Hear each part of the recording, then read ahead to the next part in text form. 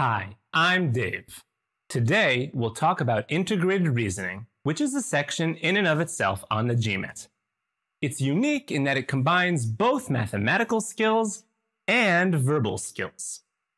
In the integrated reasoning section, we will face 12 questions in 30 minutes, which means we have an average of two and a half minutes per question.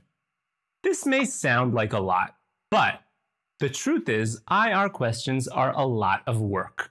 And thus, this is the GMAT section in which we are most stressed for time. The integrated reasoning section gets its own score, between 1 and 8 in single digit increments.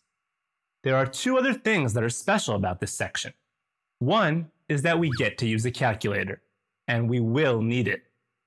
The other is that this is the only section on the test which is not computer adaptive.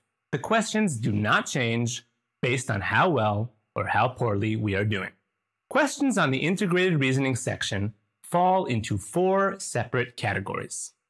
Graphics interpretation, two-part analysis, table analysis, and multi-source reasoning.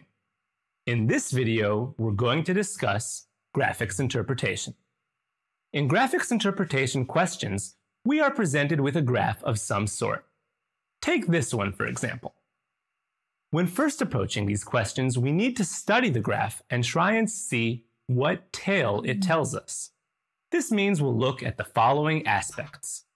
Text. We'll read it, including the title, if there is one, and take notes. Axes. What does each axis represent? In which units? Legend. What does each symbol, color, or texture represent in the graph? And example. We'll pick a random point and ask ourselves, what does it represent? Next to the graph, we'll find a passage of text which we have to read. Not only do we need to read the text in order to understand the question, but the text is also often crucial to understand the information presented in the table. For example, in this case, only by reading the text will we understand that the increments of 10 on the y-axis represent thousands of kilometers. Similarly, the text is not enough without the graph. There's lots of information which can be found in the graph only. Finally, and most importantly, at the end of the text will be two sentences in which a word or section is left blank. Our job is to complete each sentence by choosing the right option out of a drop-down menu.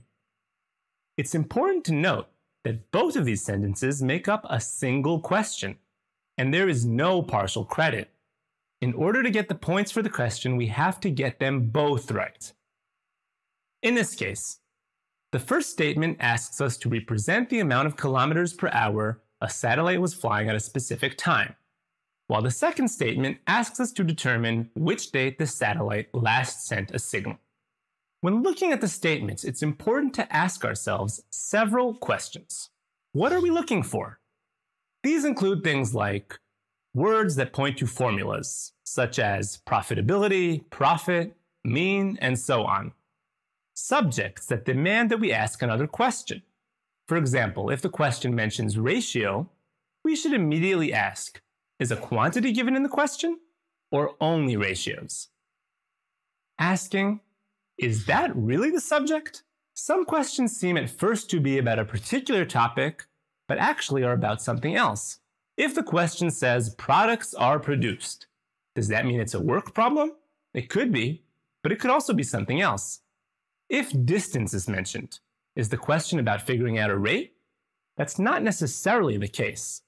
Next, we need to ask ourselves, how can we find what we are looking for? Visually? Using a formula? Where in the graph should we look for the data? And do we need to use a calculator? Finally, we need to ask, how should we approach the question? We should remember the different tools at our disposal. If the question calls for a tough calculation, we can take the precise approach and use the calculator. IR has some crazy calculations, just because there is a calculator, so use it or lose it. If there are no numbers at all, we can take the alternative approach and just pick numbers to use in the question. Finally, we have to use logic and learn all we can from the graph visually. Many IR questions don't require any calculation at all. So, that's the first part of integrated reasoning out of four. Don't miss the other three.